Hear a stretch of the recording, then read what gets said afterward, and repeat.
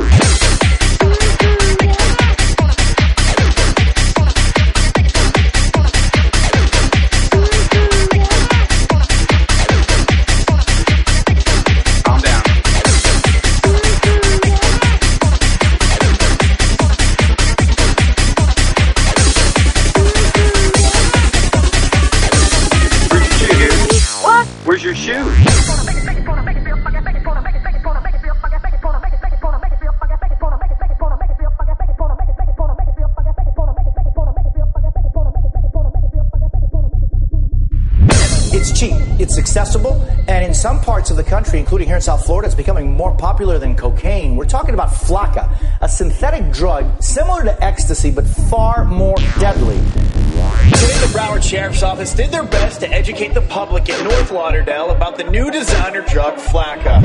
Well, I can tell you, deputies didn't hold back. They started by showing us this video of people high on it. I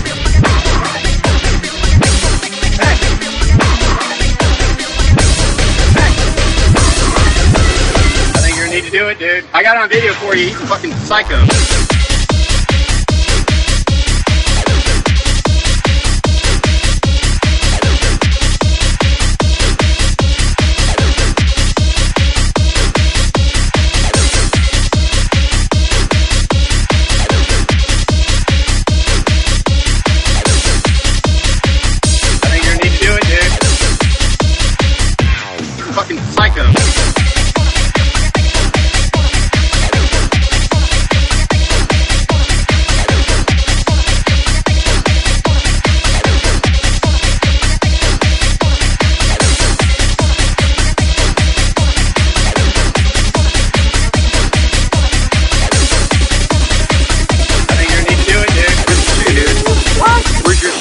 Fucking psycho.